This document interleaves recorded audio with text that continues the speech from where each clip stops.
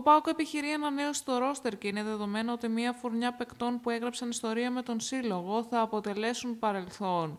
Ήδη στην έξοδο βρέθηκαν οι Πασχαλάκης και Βαρέλα, παίκτες με εμπειρία και προσωπικότητα, αλλά ο Πάοκ έκρινε ότι δεν έχει να πάρει κάτι περισσότερο, ενώ με τον Πορτογάλο Στόπερ υπήρξε και διαμάχη εξαιτίας μεταγραφής του γιού του στην Πενφύκα. Δύσκολα είναι τα πράγματα και για την παραμονή του Κρέσπο και του Μπίσεσβαρ. Ο Ισπανός Στόπερ είναι πλέον 35 ετών, έχει ποιότητα και εμπειρία, όμως έβγαλε και αρκετούς τραυματισμούς στη σεζόν που πέρασε. Ο Κρέσπο ξενίκιασε το σπίτι που έμενε, μάζεψε τα πράγματά του και πλέον μοιάζει πολύ δύσκολη η παραμονή. Η μόνη πιθανότητα να μείνει για έναν ακόμα χρόνο είναι να εξετάσει ο Πάοκα τις παραμέτρους για την απόκτηση άλλου αμυντικού πλην του Νορβηγού Νάσμπερκ που έχει κλείσει και να τον κρατήσει ως εναλλακτική. Αλλά για να γίνει αυτό θα πρέπει ο Κρέσπο να ρίξει το κασέ του κοντά στις 200.000 ευρώ.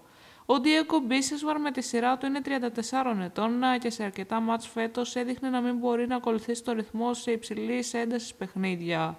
Επιπλέον είχε πολύ μεγάλο συμβόλαιο που με τα μπόνους ξεπερνούσε τις 800.000 ευρώ και γίνεται αντιληπτό ότι για να μείνει θα πρέπει να ρίξει πολύ το κασέτο και φυσικά να αλλάξει διάθεση και ο Πάουκ, ο οποίος δεδομένα αναζητεί πιο νεαρούς παίκτες στη μεσοεπιθετική γραμμή με κύριο προσόν εκτός από την ποιότητα, την ταχύτητα.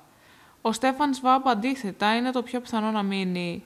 Ο 32χρονο Αυστριακός ναι, μεν είναι και αυτός άνω των 30. Δεν είναι ιδιαίτερα ταχυδυναμικός, αλλά το κασέ του δεν είναι μεγάλο και έχει την ποιότητα να βοηθήσει σε παιχνίδια που δεν έχουν μεγάλες απαιτήσεις. Σε δύο χρόνια έφτασε τις 100 συμμετοχές και έχει σημειώσει 14 γκολ, ενώ είχε και 15 assist.